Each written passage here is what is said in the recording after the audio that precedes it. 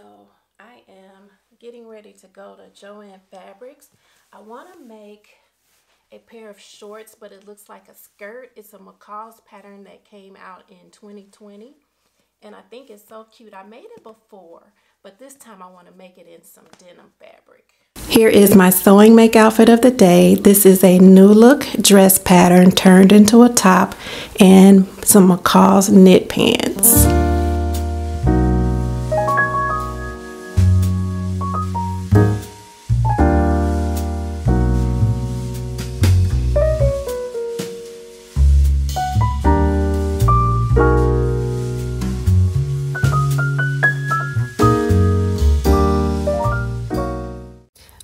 Look at this denim fabric that they had in the store. I love it. It has all these little pearls all over it. The sun is bright, so I'm gonna have to hold these up here so you can see. So I just picked up two fabrics. One is this olive colored denim. So last year I made two garments in this denim, so I thought maybe I'll get a little more to make a top. And then I just picked up this other plain denim no print on it or anything. And I'm gonna use this for the shorts. And that light colored denim in there with the pearls on it I thought that that was so so cute. But I was trying to think of how you would remove the pearls so that you wouldn't sew over them because they were like really secure in there. So I don't know how that would work but it was a cute fabric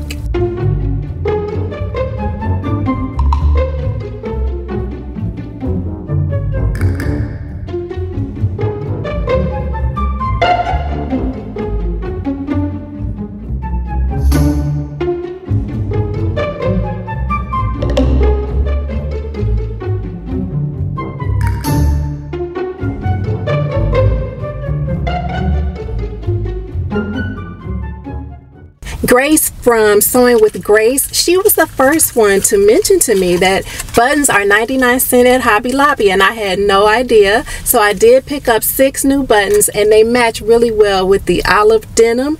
I only spent $2.15. Yes, so I'm happy about that and thank you Grace. Thank you so, so much.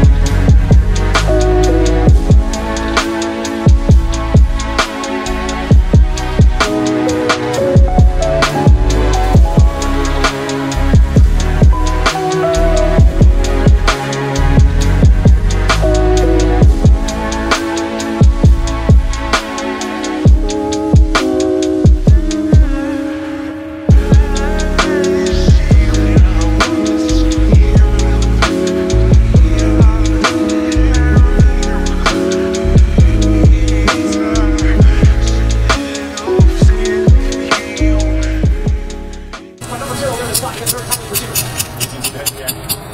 right, coming, receiver.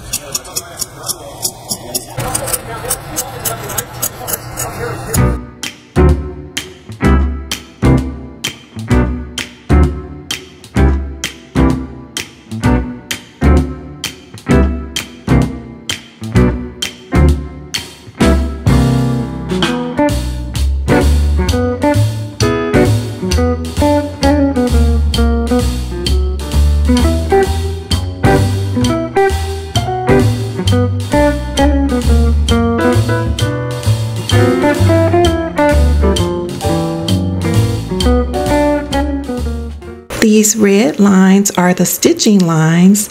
These lines were transferred over from the pattern piece and this is where the elastic casing will go through the front and also on the back of the shorts.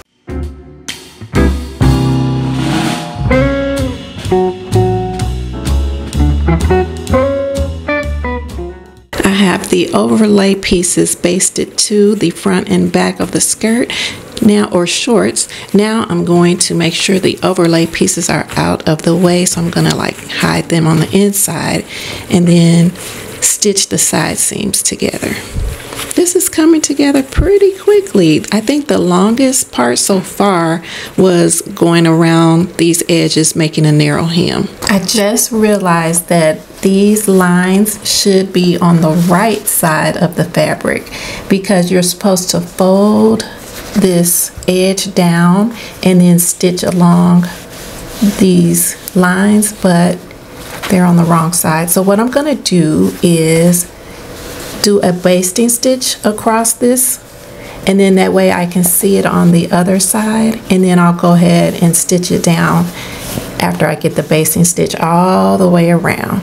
So it's going to be okay. It's going to be all right. So I have my basting stitch on and I'm just going to stitch all the way around all the red markings and in that way I should be able to see the stitching line from the opposite side. Okay, let me tell you all. Over Christmas break, I went out to eat with my family.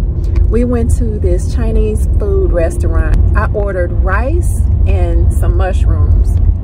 And I was eating and all of a sudden I bit down on something really hard and I spit it out and I looked at it and I did not know what it was.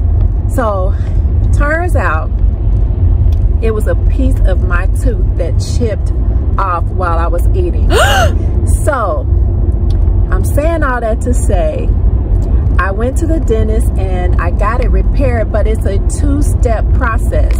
So I'm on my way to the dentist right now for the second step. And I brought my little pair of shorts with me because I'm at the point where all I need to do is thread the elastic through the casing.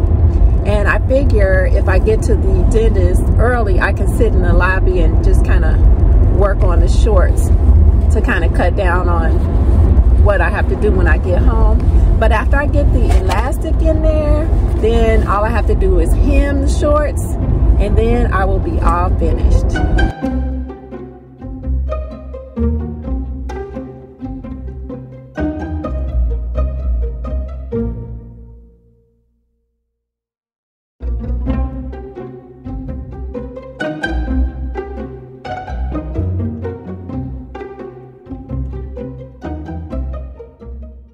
Here is the final skirt, or actually shorts. I keep wanting to call it a skirt, but it's actually shorts, but it does look like a skirt from the front and also from the back. This is a 2020 pattern and it only called for three pattern pieces. I made view A. It's rated as easy and as you can see here, the wrong side of the fabric does show for the side tie. So that's something just to keep in mind if you want to make this, but you don't want the fabric to show on the wrong side over here. But yeah, this is the skirt. And I can't wait to wear this when it warms up outside.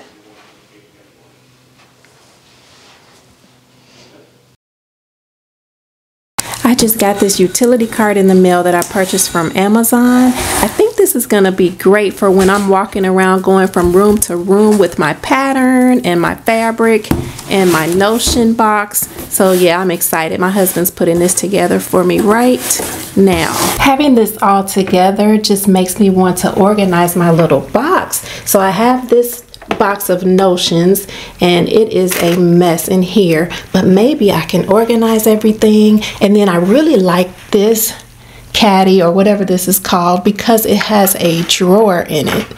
So I thought that that was cool. And this comes in different colors and you can get more than three tiers if you want more than three tiers. And then you can pull on it to take it from room to room which is what I'll be doing.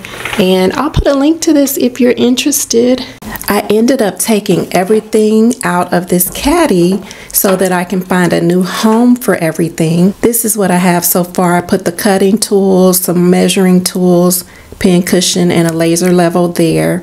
In the drawer I just put these rocks that I like to use as pattern weights. And this is some marking paper that I use for marking darts and things like that. And these are the little wheels that you use with the tracing paper, some tape, and chalk and markers and pens. And then I have my really heavy pattern weights here and then I have these extra shelves that I can put something on. If I'm going to be working in another room I can take some fabric and a pattern and just put it on one of these shelves and then roll everything into the other room and get started. This is made out of plastic. It's not as sturdy as some of the other ones that are made out of metal but for my purposes I think it's going to be just fine.